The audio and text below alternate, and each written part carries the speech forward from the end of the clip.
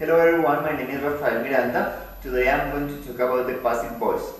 The passive voice is used to emphasize the object or when the person doing the action is unknown.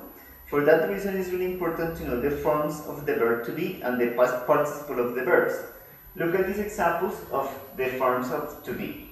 We use be with modal verbs and future tenses. Is and are with simple present.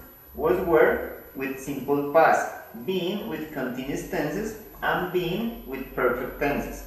Let's check this example in active voice. Daniel cleans the house. This example is written in simple present.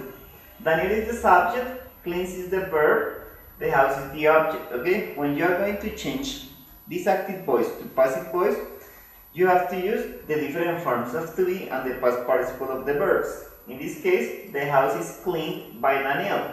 The house is the subject, is clean is the passive voice and by Daniel is the person who does the action.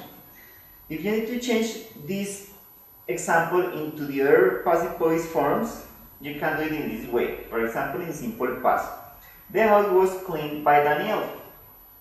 If you are going to change it into present continuous, you have to do it in this way. The house is being cleaned by Daniel. Okay, that is the, the final explanation of passive voice. If you need to know more about the passive voice, you have to practice and in that way you are going to know how to use it and how to use it in conversation because this passive voice is commonly used in English spoken, spoken countries.